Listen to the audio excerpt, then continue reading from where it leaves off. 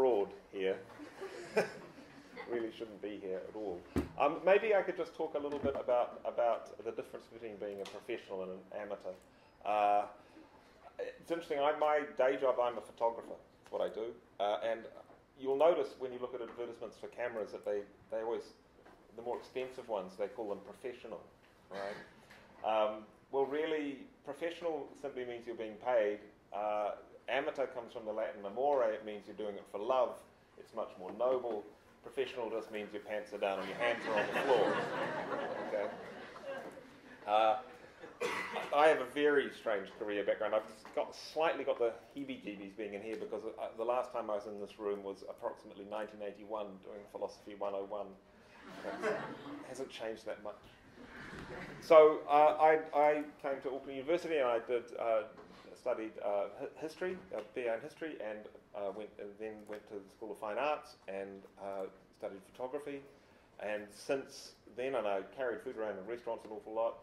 Um, and then I, like Ian, I own my own business. I'm a, a photographer specialising in photographing the built environment. Um, now, out of that, and out of a general passion for cities, I just uh, strangely started turning many people, a career that many people envy.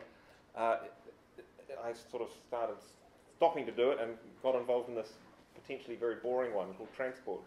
Um, and the sim- there's a simple reason for that because uh, transport is a little is very similar to how Homer Simpson discussed, discussed alcohol.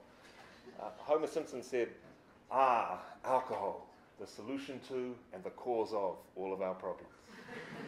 and in Auckland, it's very clear to me that the the solution to and the cause of all of our problems is is transport planning, or if I want to get really mean and pejorative, is specifically the whole idea of the traffic engineer.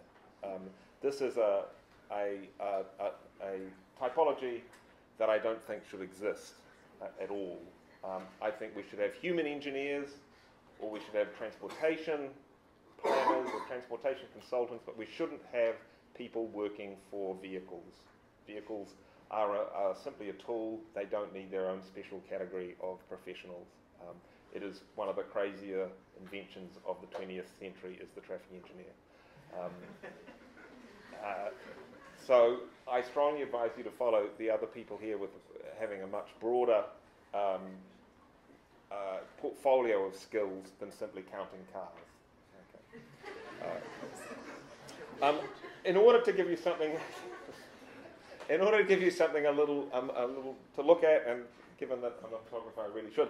I've just I haven't prepared something because I've just come straight from a two-day conference um, on transport infrastructure, and this is I'll just give you the beginning of, of the presentation I gave to just give you a little hint of, of where I'm coming from. So I am part of the editorial team at Transport Blog, which is an entirely voluntary run uh, public space for discussing, uh, really discussing Auckland's urban form.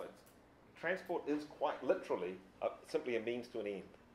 And as I think Ian said, transport and land use, uh, you know, it's one coin, two sides.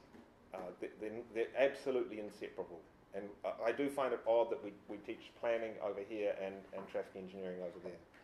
Um, oh, I, sp- I, suppose I should point out also that a few years ago I went up to the School of Architecture and Planning and said, look, what, uh, started to talk to the Dean about the possibility of me doing a, um, jumping into doing a Master's in Urban Design.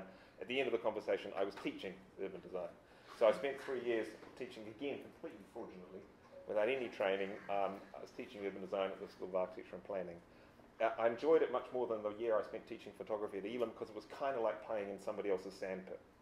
It's, it's sort of more ways the other kids' house is more fun. You know, the toys are better. So uh, th- this uh, talk was uh, with the title. The title is a little provocative because it, almost anyone you talk to, they'll say, "What is the problem in transport? It's congestion. We've got to kill it. We've got to hit it with a stick." Now, my view in general is that, um, you know, Detroit isn't very congested right now. Um, San Francisco is very congested. Which of these places is successful? Um, so let's talk about qualities of congestion. And there's a, uh, an architectural critic in San Francisco called John King who, who said, uh, seductive congestion, that's what the great cities are about. So it's putting a quality on the congestion. I like to start with this. This is not a, um, uh, a design for a new flag. In fact, I think Scotland's already got it, pretty much. Uh, this, this is, uh, visual communications is the thing I really like. This is one of the simplest charts you'll ever see.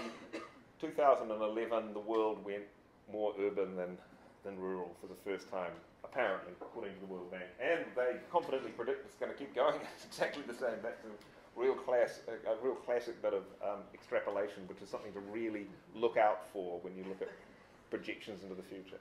Um, what is a city? So I'm passionate. My passion. What is it that, that I love? Why am I doing this? It's cities. Actually, I love cities and urban form and uh, 25 odd years of photographing architecture. It's what you. There's one category, one skill you actually need to do that well, along with sort of being able to handle a camera, is you look. You just have to look really hard.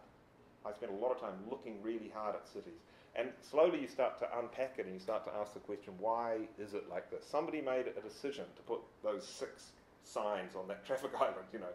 How did that happen? And uh, I'm, I'm, more interested now in, in, in how we can make uh, cities, and Auckland in particular, better than, than just photographing the occasional um, beautiful piece of architecture, especially once it occurred to me that in some cases the architect's job is improved if their diamond is in a sea of shit. So the context, the gap between the buildings, the negative space, that's where we are, that's where we live. So rather than, say, talking about a building having a public facade, I to think of it as the public's facade. That's where we live. So, firstly, I just want to start about the cities, talking about cities. Basically, uh, every time people make that decision to move from their um, shack in the country to the city, they're almost certainly making a, the right decision. This is the uh, evidence. There's New Zealand right on the curve. Basically, the more urban you are, the more prosperous that you're likely to be. This is why city-states like Singapore, Hong Kong are very wealthy. Of course, there's outliers, crazy ones that are also urban but also sit on um, vast amounts of oil tend to be the outliers at the top. Um, we live in a rural nation, don't we? Don't we? Really, all we do is turn rain into milk? No, that isn't what we do. Um, New Zealand has a strange idea about itself. Um, it's, we are built on an ethos that's deeply suspicious of the urban realm.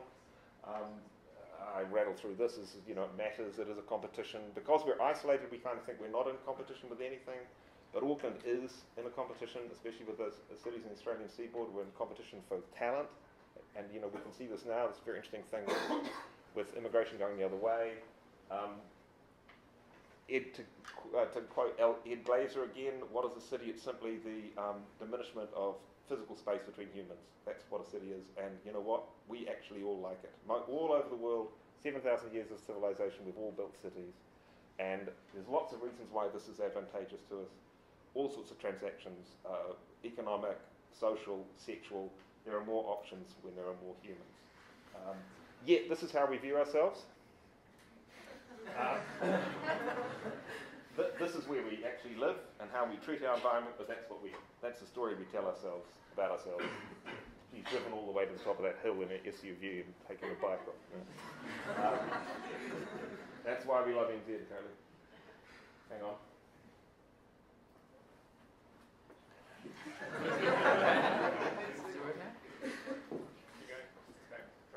Try again? Yeah, all right. Um, so the, the, in my visual arts background, I'm, I'm keenly aware of, of uh, how visual images um, inform our views about ourselves. This is Edward Doré from the uh, late 19th century. This is a view of London, industrial London, complete with that, you know, the worst thing in the world, a train. Um, this is the fallen state that New Zealand, in many ways, was founded on. The escape from this, uh, these uh, disbenefits of, of getting extremely close together. So New Zealand was very much founded on escaping from this. Yet we do actually have a city. This is a graphic illustration of journey to work data. So this is people's actual commutes in Auckland. So not only um, is Auckland a city, but also it actually has a very strong centre. It has some sub-centres too, but it is a city with a centre. There are a lot of myths about Auckland. One of them is that we're very uh, dispersed and not dense. It's not true, and that we don't have a centre, etc. I can bang on about that. Um, there's a visual, this is done by another, one of our team at Transport Blog, Kent Lundberg. That is property value visualized. So it shows that Auckland conforms to the classic form of being much more valuable in the centre. there's also other things to learn about that. That's Consley Road. Um, you can see the, talking about severance, um, the strangling noose of the motorway corridor.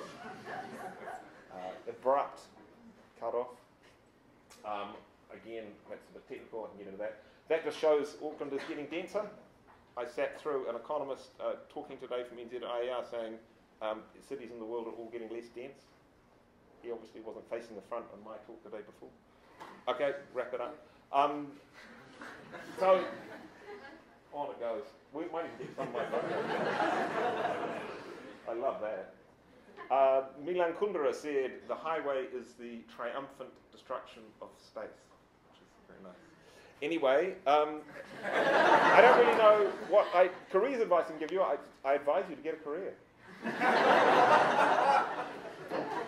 Shall we take, take,